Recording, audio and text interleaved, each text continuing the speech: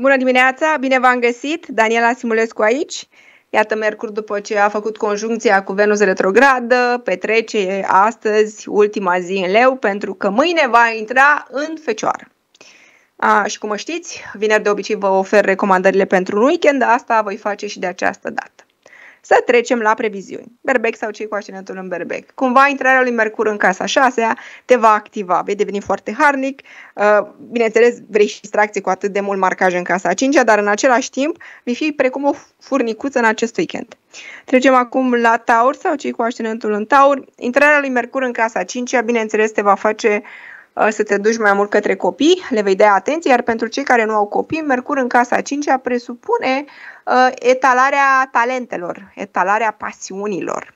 Trecem la gemeni sau cei cu ascendentul în gemeni. Iată, Mercur va intra în casa patra și vă va obliga să purtați unele discuții cu familia. Veți spune voi că e vară, că e soare și n-ar trebui să vă complicați. Va trebui să vă și complicați.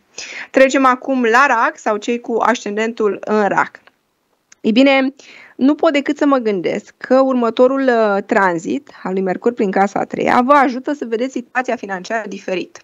Bineînțeles, vă face comunicativ, minte vie, dar în același timp veți fi mai atenți la venituri și la cheltuieli. Trecem acum, iată, la leu sau cei cu ascendentul în leu. Mercur este din semnul vostru, vedeți că vă dă astăzi așa un ultimatum, mulți dintre voi veți dori să luați decizii importante, iar mâine va intra în casa a doua, veți fi mai circumspecți în momentul în care cineva vă va propune chestiuni financiare. Da, veți, veni, veți deveni și mai critici, aș putea spune eu, din acest punct de vedere.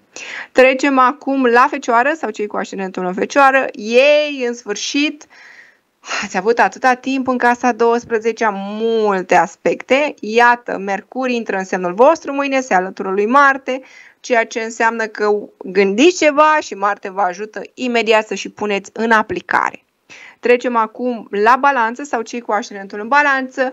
Mercur trecând în casa 12 vă obligă să fiți mai introspectivi și să nu promiteți marea cu sarea și să nu vă dați în stambă și să nu exagerați. Știți ce vă obligă acest tranzit? Să nu replicați comportamentul celor din jurul vostru, să nu fiți oglinda lor. Trecem acum la scorpion sau cei cu ascendentul în scorpion. Uh, parcă îi criticați prea mult pe oamenii din jurul vostru, parcă în ei vedeți lucruri care nu vă convin la voi, dar decât să le acceptați în voi, le spuneți lor, consider, spunându-le că voi îi iubiți, îi apreciați și că le oferiți sfatul vostru corect și drept. De multe ori să știți că de fapt astea sunt răutăți, sunt mai degrabă chestii din voi pe care nu le acceptați și le scoateți la ceilalți în evidență. Trecem la săgetător sau cei cu ascendentul în săgetător, cu Mercur se va duce în casa 10 V-aș recomanda totuși weekendul acesta să nu stați doar cu gândul la serviciu sau la discuțiile cu șefii, lăsați asta pentru de luni încolo. Trecem la Capricorn sau cei cu ascendentul în Capricorn.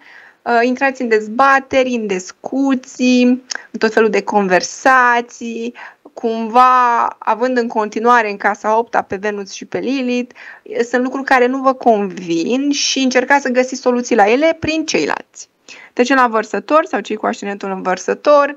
Iată, Mercur intră în casa 8 și discuțiile despre banii la comun vor fi la ordinea zilei, având și Venus retrogradă în casa 7 bineînțeles în careul cu Uranus, problema despre bani, discuțiile despre bani cu partenerul, iar pentru cei care sunteți singuri, bineînțeles că vor apărea temeri și frici înainte de a intra într-o relație. Trecem acum la pești sau cei cu ascendentul în pești. Um, Mercur se va duce în casa 7, unde este și Marte, și oarecum vă ajută să vă înțelegeți mai bine cu celălalt, să ajungeți mai ușor la celălalt și să nu vă bazați doar pe furie. Da? Nu vă mai cuprinde doar furia, cumva și logica își face loc.